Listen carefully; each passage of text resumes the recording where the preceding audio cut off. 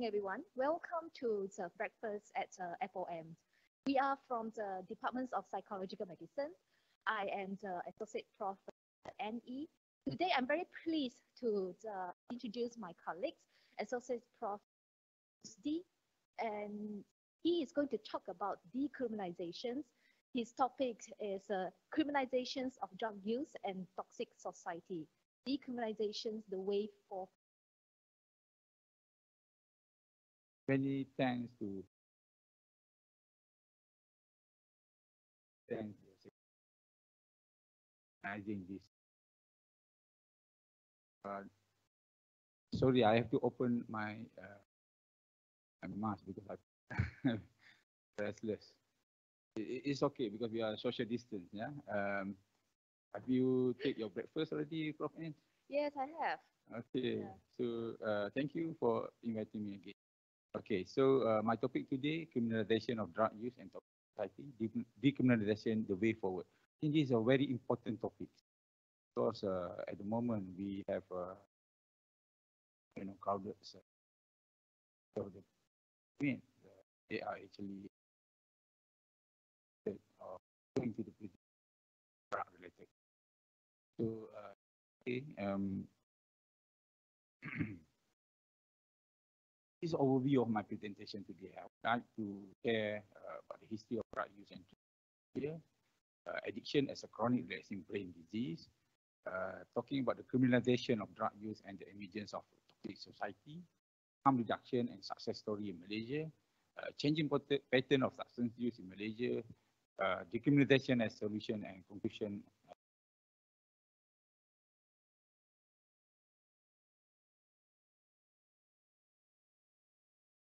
as you know that uh, uh, up until to 1960s, drug abuse in Malaysia is uh, mainly uh, involved uh, opium, was restricted to the Chinese immigrants. But since 1980s, the Malays has become the ethnic, major ethnic group involved in addictions and occupy the Serenti centers in Malaysia. there is a concern about the rapid increase in heroin use, and the government actually um, into uh, uh, mission or vision, uh, have what we call drug-free nation by the year 2000. But unfortunately, uh, the problem is uh, ways getting worse. Um, and in Malaysia, uh, the info we have uh, more than 50 grams of heroin possessions. You can actually what we call mandatory death sentence So uh, don't play play in Malaysia. So this this uh, law stay apply. Okay, uh, this is quite important. I would like to highlight this because many of us uh, didn't understand what what are the addiction is. So addiction is a chronic disease, a medical illness, and it's actually uh, combinations of uh, multiple uh, etiology. For example, genetic causes, uh, physiological causes, uh, pharmacological, uh, the direct effect of the drug itself is actually an uh, important role in development of addictions, and of course the environmental or social factors. And the addiction is characterized by repeated use of substance or behavior despite clear evidence of uh, resulting from the first use.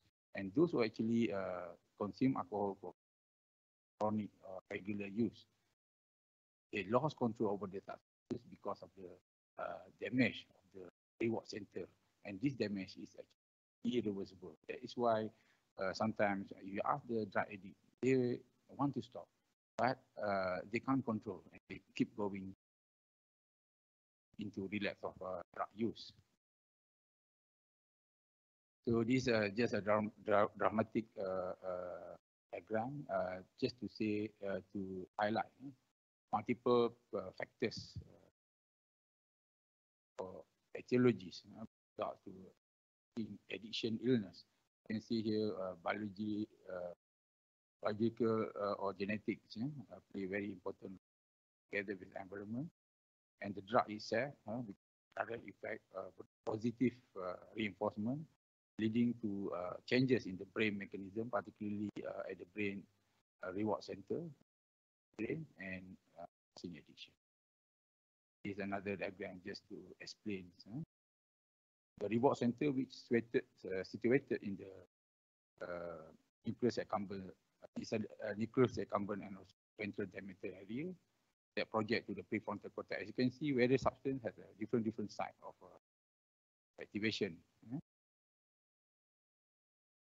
So the concept of addiction have changed over the 18th, uh, 21st centuries. As you uh, know that when we first uh, open up our subsidiary nationwide, we actually see the drug addiction as a moral issues.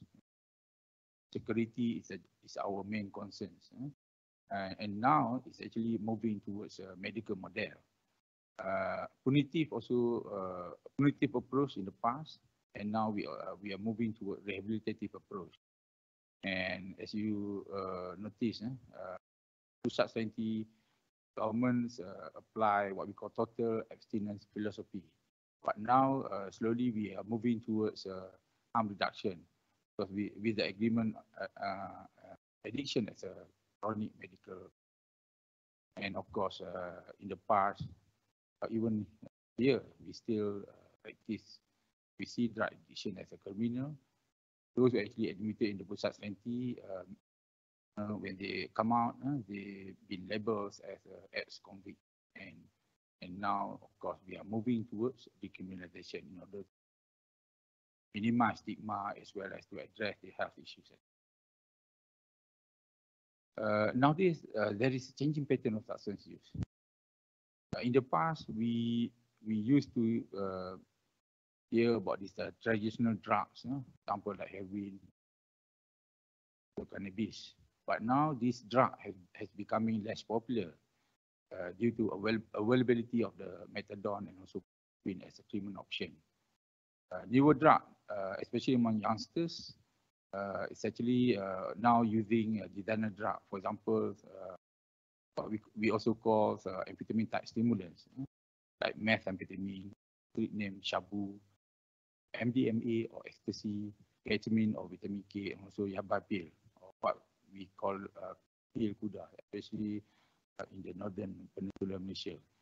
And however, there was no pharmacotherapy uh, treatment available so far for these uh, drugs, and we only rely on psychosocial interventions. Uh, criminalization of drug use and the emergence of toxic society. I think this is very important for me to highlight because uh, I don't know, uh, we cannot just uh, blame the um, addicts why they become, you know, finished uh, petty crime and so on. Uh, it's actually, uh, you know, it's probably due to our uh, policy as well that made them become toxic society. Um, in Malaysia, there was a main main drug law in Malaysia include uh, Dangerous Drug Act 1952, uh, Drug Rehabilitation Act 1983, and also Poison Act. So these uh, are the responsible uh, uh, law that actually make our our drug addict being accumulated in, in the prison and also in the drug rehab centers, the, the government's subsidy. Uh, in Malaysia, if you get caught, uh, urine positive, you can actually be forced into the compulsory rehabilitation for two years, uh, even though you're not ha having any possession of drugs. And if you possess the drug, you may go into under Dangerous Drug Act 1952, which means that you can go into the prison as well. And of course, the Poison Acts uh, also apply to, especially for new psychoactive uh, substance. For example, like uh, kratom or ketum.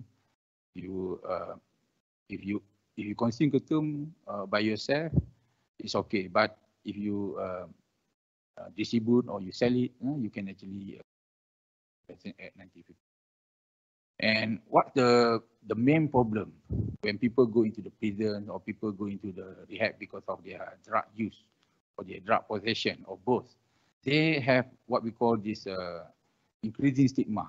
Uh, for example, post-serenity syndrome that I would like to highlight here.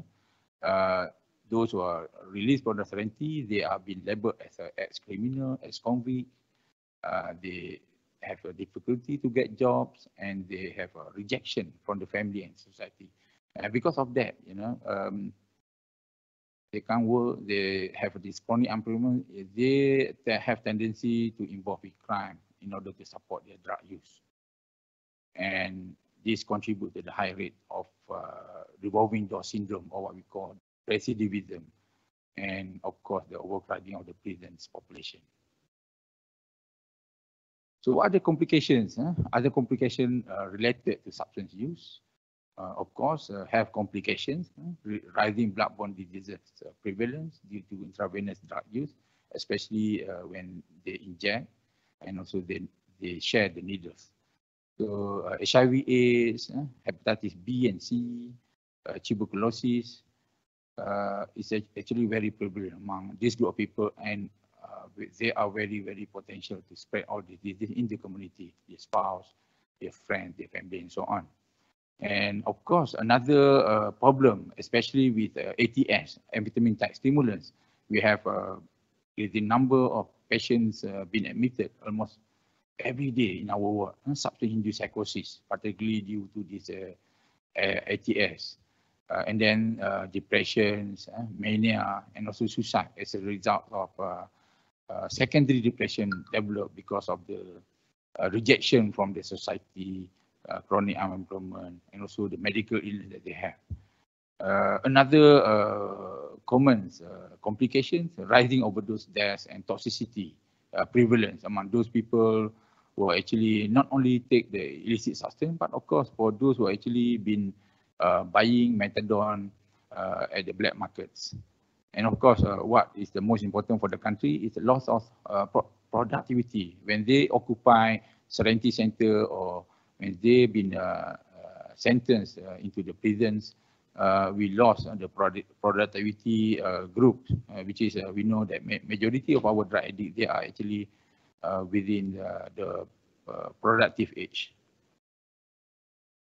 So this uh, just to highlight uh, uh, the infectious disease, I actually sharing this slide given by Prof. Adeeba, our our our deans, uh, as you can see here, the mega epidemic of HIV, uh, if you compare between Malaysia, Vietnam, and other countries like China, you can see that uh, the the proportions of HIV uh, uh, in Malaysia is uh, quite high, about it's more than 80%.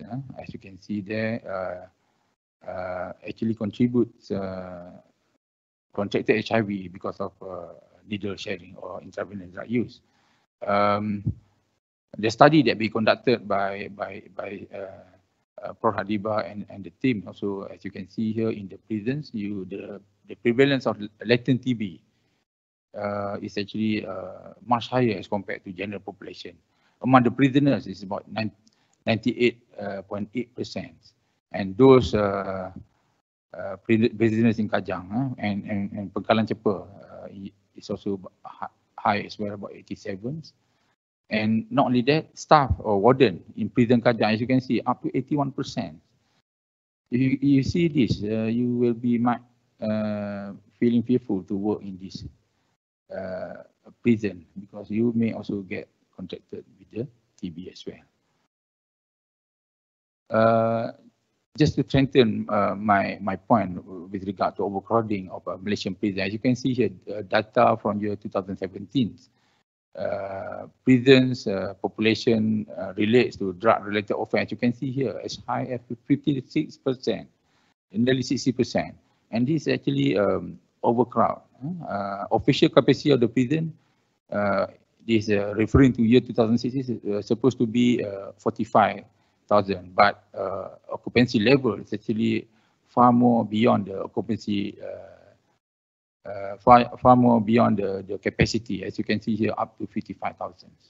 So this uh, really uh, become like incubator of infectious disease because the, the system in the prison does not really uh, look into um, the, the prevent, preventive measures how to, to, to spread uh, these diseases inside there. Uh, these are newspaper paper cutting just to to highlight uh, about the uh, overcrowding of the uh, prison in Malaysia. Majority of uh, we have 30 30 prison in Malaysia, and majority of these prisons is actually overcrowding. And and it's a good incubator for all these infectious diseases. That's how the, the, the, the infectious disease spread in Malaysia. And this is just to highlight about jumlah tangkapan di bawah tadara berbahaya ADB 1952.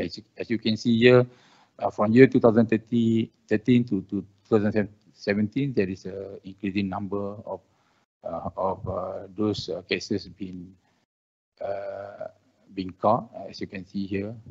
But of course, we we cannot uh, just uh, uh, assume there is increasing number. But it also depend on the amount of grant that, that the police actually uh, get. Uh, the the the the increase increasing number of the of the operations they do, of course, uh, the, there will be probably an increasing number of the of the cases as well. Yeah. So so far we don't have uh, any uh, uh, good ep epidemiological study that been uh, carried out. Uh, I remember the National Health Mobility Survey in year 2015. We only have uh, um, data with regards to um, uh, 18 years and below. But uh, I hope uh, for the next uh, National Health Mobility Survey conducted by the Ministry of Health, we, we will have a proper a proper uh, ep epidemiological study uh, in order to have a more reliable data with regard to number of drug addicts in Malaysia. Uh, so I what I can conclude there is failure of war on drugs in Malaysia. As you can see, uh, you know those who are actually been admitted in the prison when they come out, uh, they involve with crime, they relapse, uh, and they go back again uh, in the uh, prison setting and this uh, rate of recidivism is actually uh, not really uh, changed uh, much. Uh, there is a dominance of law enforcement over health. Um, as I mentioned just now, KPI for enforcement, which is, is not the true pictures uh, to, to, to, to see the progress of addiction treatment in Malaysia. there is lack of clarity and duplication of roles between those agencies involved, for example, like ADK, prison, uh, and also the police. Uh, moral and religious framework uh, uh, link uh, link to the prohibitions, uh, like for example, like this uh, perangi dadah habis-habisan and mainly focus on total abstinence approach instead of uh, uh, harm reductions. And of course, when when when when things uh, been uh, prohibited, uh, the corruption uh, arise, uh, uh, not only in the community but but even in the in the uh, prison as well as a help center as well. Um, this is just uh, to highlight uh, our harm reduction programs that we uh, been carried out in Malaysia since year uh, 2005. You can see more than uh, 100,000 registered for needle syringe exchange program and uh, about uh, uh, uh 10,000 uh, involved or registered in opioid substitution treatment or medication assisted treatment program. And we not only have a methadone in the uh, community, uh, in the ADK as well as a prison, but we even have a, a methadone program in the mosque, which has been highlighted in the New York Times uh, around 2012, 2013.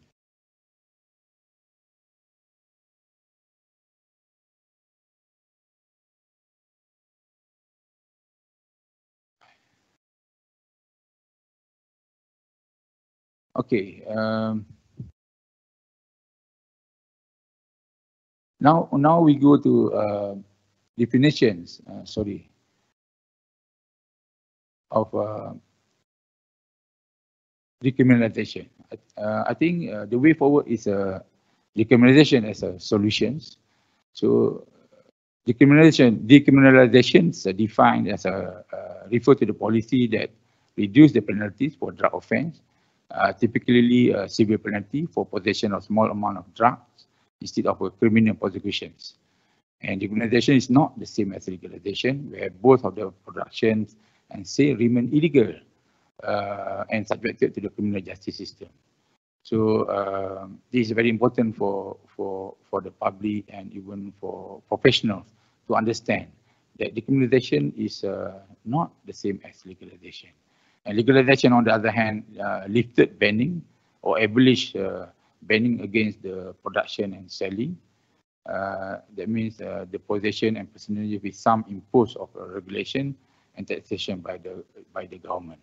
So uh, there is a quite a huge difference. As you can see uh, in this uh, uh, diagram, this is what we call a conceptual framework with regards to drug policy spectrum. As you can see here, the decriminalizations and and you if you pro prohibit you prohibit uh, uh, completely uh, the drug, you can see there is a rising unregulated criminal market.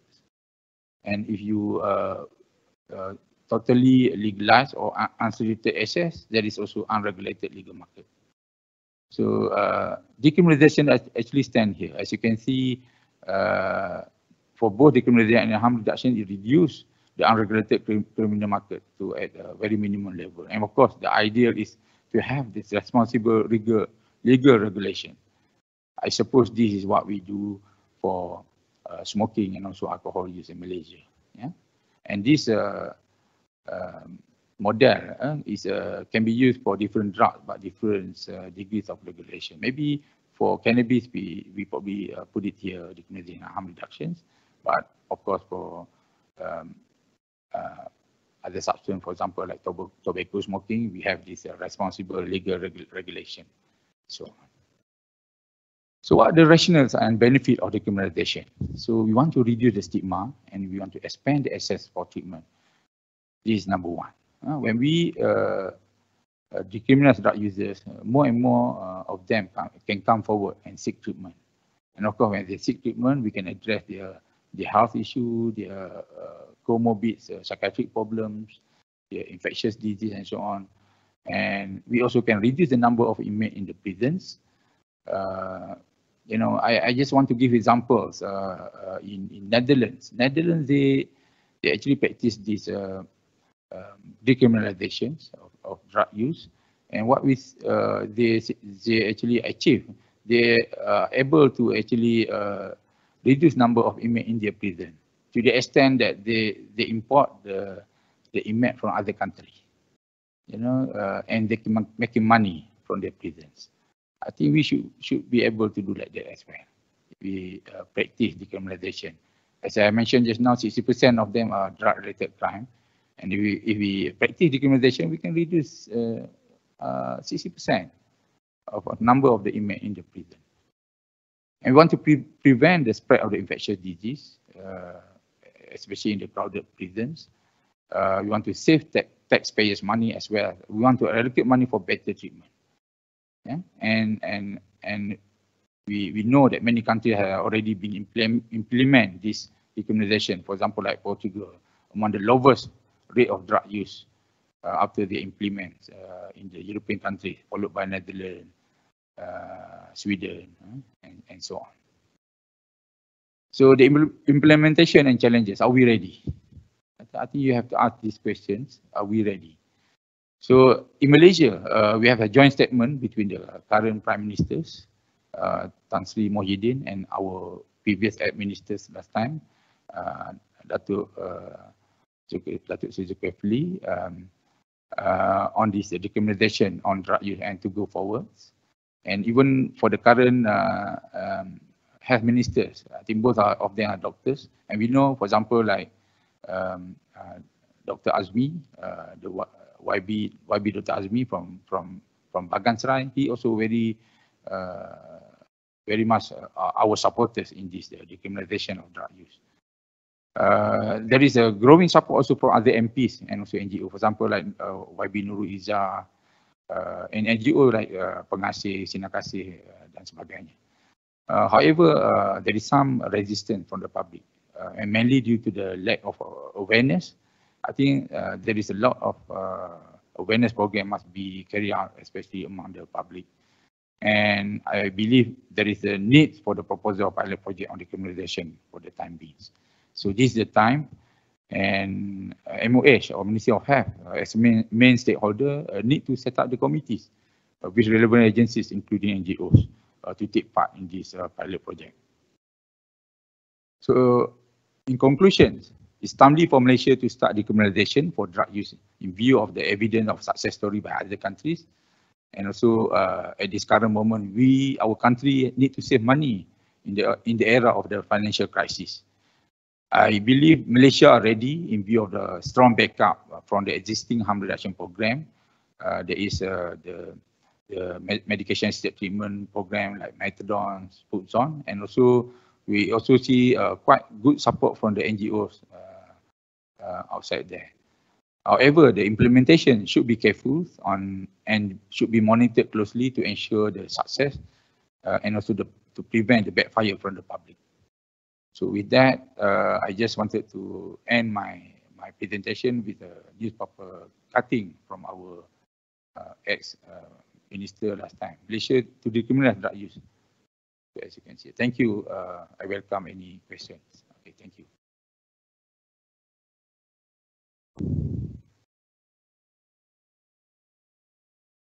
Thank you very much, uh, Prof. Rusdi. That is uh, very insightful uh, presentations. Um, however, I think right, uh, why we get like resistance from the public is uh, the publics are just very confused, lack of awareness. Um, and one thing's right, uh, they really do not know what's the difference between decriminalizations and uh, legalizations. Uh, I know just now you have mentioned about uh, that, right, uh, the differences. Could you actually, um, well, currently there's a lot of confusions about the cannabis use. Uh, there are parties that uh, support legalizations. There are parties that uh, support decriminaliz uh, decriminalizations. So um, let's say, right, uh, could you explain, like, let's say, right, uh, give you a scenario that if a person is using the cannabis, what will he like the fate, right? If it's under the decriminalization model, uh, compared to if he is under the legalization model? Uh, thank you, Prof. for the question. I think this is a very important question. Uh, you know, uh, we, we know that not even uh, the, on, among the public, even among the professional, we are still confused the difference between decriminalization and legalizations. Legalization, legalization is uh, something like like like uh, smoking, you know, tobacco smoking, alcohol, where the governments actually, uh, to some extent, allow uh, selling possessions, but uh, of course, they take tax from from all these people. And um, with regards to cannabis, um, uh, for my opinions, you know, as a psychiatrist practicing uh, in UMMC, I, I see a lot of uh, patients who when they use uh, cannabis, particularly the THC or tetrahydrocannabinol, they go into uh, psychosis as well as uh, uh, you know, our schizophrenic patients, they have multiple relapse, especially when they use this cannabis. So uh, um, for cannabis, uh, we also know that there is another uh, component, what we call cannabidiol or CBD, which is quite good and potential to be used as a antipsychotic and also uh, uh, uh, that to, is the one that called yeah, the medicinal yeah. uh, cannabis. Medicinal cannabis yeah. or CBD, which mm. is good also uh, and, and potential to, to be used uh, as a uh, treatment for THC dependence. So I believe uh, the best model for for for cannabis should be the decriminalization, you know, uh, and where the government uh, uh, allow the use for medical purposes. Uh, of course, selling selling uh, of this uh, THC, I, I disagree lah. Uh, complete legalization, but for CBD, yes. So that that is why when we uh, wanted to to apply this this uh, policy yeah, uh, for certain substance, I think we have to look into uh, different different substance. You know, uh, for example, for um, it, it, it, it cannot apply uh, to every substance. You, you you need to choose substance that can be used for decriminalization and substance that can be used for complete legalization. Okay. Yeah. Uh, so let's say, right, uh, person that uh, mm-hmm. have a possessions of the cannabis, mm-hmm. um, small amount, mm-hmm. um, uh, just for his own use, under the decriminalization, right, uh, what will he, uh, what will his future, I mean, like, uh, becomes? That's why if he just uh, you know possess small amount or or maybe uh, just urine positive. So this is the, the type of people we, we, we should actually protect from going into uh, judicial system. And instead of going to judicial, judicial system or criminal justice system, these patients should be uh, channeled into what we call uh, uh, administrative order. You know, they have to go to the um, uh, treatment. For example, uh, if it depends on the severity, we need to set up the, the board that can actually assess uh, the severity of the uh, substance use. In the case of cannabis, eh, if they just, uh, you know, use uh, at, for the recreational uh, uh, basis, maybe we should give more advice. for, for the first time, got positive, maybe um, advice is enough uh, and education. But for the second time, maybe uh, we can uh, impose the penalty. Yeah, the penalty like uh, khidmat masyarakat, for example. And for those who actually uh, quite severe and become uh, highly addicted, and it's already uh, uh have a, a problem in terms of functioning, drug-induced psychosis or cannabis-induced psychosis, this is the group that you, you should refer for proper treatment in the health setting uh, in order to help them uh, going back to society. Right. Thank you very much. Um, and uh, that will uh, be the end of our presentations. Uh, and thanks, right, you all with us, right, this morning, uh, breakfast at FOM. And next week, um, the breakfast and FONs uh, will be with uh, departments of uh, surgery. Thank you.